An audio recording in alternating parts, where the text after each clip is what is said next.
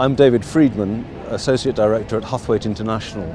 And Huthwaite is a global company but proudly based in the Sheffield area for over 40 years. Uh, we have a particular focus on the manufacturing and industrial sectors and we're very proud to have worked with some of the biggest names uh, over the years, uh, helping them to uh, expand their markets, sell their products better, get better deals when they negotiate and increasingly uh, confront new challenges such as competition from uh, new entrants um, and working uh, to get the best out of deals with procurement organisations.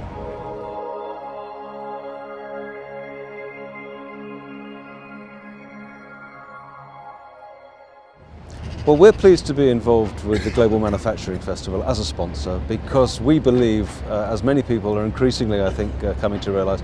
that manufacturing and exporting is not only crucial to the future of a British uh, economy going forward, but of the European economy and, uh, and globally. And uh, we're very happy to support all efforts to, to engender that, how to sell that, how to develop new markets, how to communicate through convincing value propositions what it is that makes uh, one company's products not only special but wanted and valuable uh, in a business sense uh, to the companies and, and customers around the world that they want to buy those products.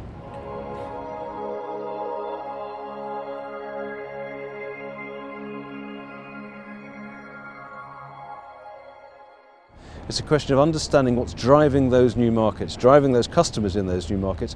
and how we can adapt and adopt our technologies to provide solutions that are really going to help them prosper. And that that requires really understanding what uh, what the concerns and the problems of the of the markets uh, and the companies in those markets are, but also being able to look ahead with those uh, trusted key accounts and see what's looming on the horizon for those so that we can start to develop and improve our products based on the problems that they see facing them um, over the horizon.